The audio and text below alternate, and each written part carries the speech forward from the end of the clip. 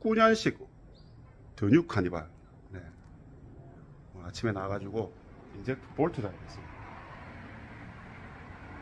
와샤 볼트. 요 볼트들이 고착이 잘 돼요. 그죠?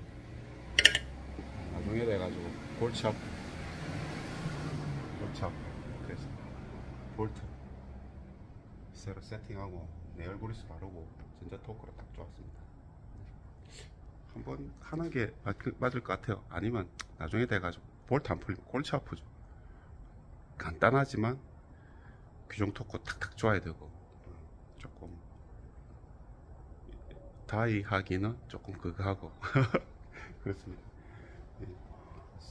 블라이스 이거 뿌려가지고 네. 아 이거 할 때마다 겁납니다. 블라이스 뿌리가 내용고시 딱 바르고 그래서 장착 딱 했습니다. 한번 하세요. 하는 게 맞아. 근처에 우리 선배님들 어, 잘하는 데 많을 거란 말이야. 딱, 딱 체결해가지고 음, 하는 게 정신 건강에 좋다. 아, 아, 괜히 고착대가 막 뭐니 뭐니 해도 그 G볼트, G너트가 최고입니다. 음. 이빨도 마찬가지죠. 임플란트 아무리 좋은 꼽았자 G이빨 보면 뭐네. 그거하고 똑같은 겁니다.